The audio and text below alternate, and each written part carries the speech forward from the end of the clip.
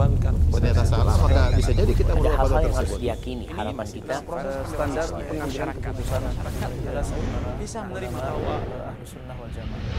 Apa pentingnya manfaat yang bisa diambil Dewan Fatwa ini dengan masyarakat? Tentu kalau ditanya adalah kembali kepada hadis Rasulullah SAW khairun nas anfa'uhum linnas manfaat manusia yang paling baik adalah yang bisa memberikan manfaat kepada banyak orang. Ya, kita ingin memberikan manfaat kepada banyak orang. Manfaat apa? Tentu yang kita cari adalah manfaat diniyah. Manfaat syariah nasihat. Amar ma'ruf. Nahi mungkar.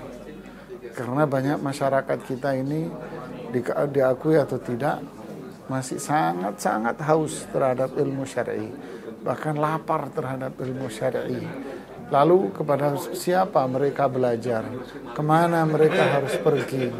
Nah itulah kita membuat sebuah wadah ini agar bisa memberikan manfaat kepada mereka dari kalangan para asatidah asatidah yang memiliki kompetensi yang sangat bagus sekali.